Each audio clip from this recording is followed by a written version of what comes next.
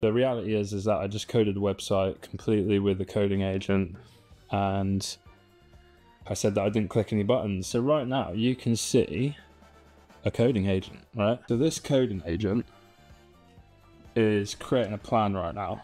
And I've given it all the context, I've given it all the images, I've given it a folder to work in on my computer, and away it goes, right? And the better the instructions, the better it's gonna go do the job. And you can see while I'm talking to you, it's autonomously doing it. This is a website I've built with AI, right, which is for my software.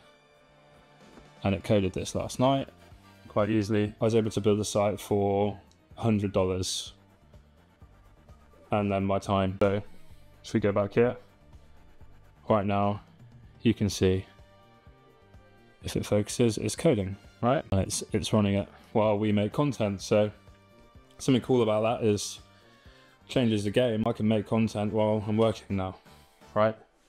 I have to check in.